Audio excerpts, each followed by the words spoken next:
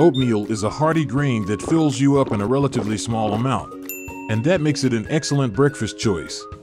If you choose, you can cut some fresh fruit in a healthy bowl of oatmeal for a more interesting taste. There are several reasons why oatmeal can be an important part of your morning routine, especially if you have type 2 or type 1 diabetes. With its many health benefits, it is important to keep in mind that not all oatmeals are created equal.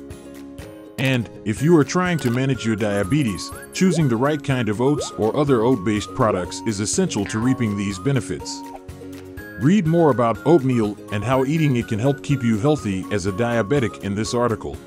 The link is in the description. And for related articles, check out mealtime.ng/blog. Mealtime, taste the experience.